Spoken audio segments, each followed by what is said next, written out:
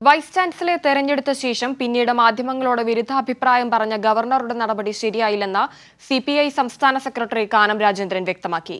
Governor പദവി തന്നെ വേണ്ടെന്ന നിലപാടാണ് സി പി ഐക്കെന്നും കാനം പറഞ്ഞു. ഗവർണറുടെ മുമ്പാകെ ആ പാനൽ ചെല്ലുമ്പോൾ അദ്ദേഹത്തിന് അത് തള്ളു കൊള്ളുകയൊക്കെ ചെയ്യാം.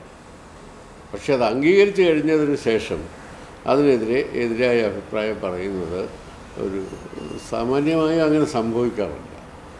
എന്തുകൊണ്ടോ അങ്ങനെ സംഭവിച്ചു. അതുകൊണ്ടാണ് ഇതിപ്പോൾ ഒരു വിവാദമായത്. മുഖ്യമന്ത്രിക്ക് അതുകൊണ്ടാണ് പരസ്യമായി മറുപടി പറയേണ്ടി വന്നത്.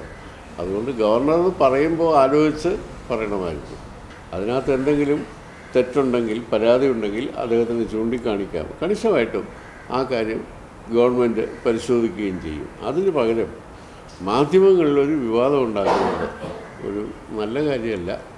അത് നിർഭാഗ്യകരമാണ് എന്നാണ് എന്റെ അഭിപ്രായം.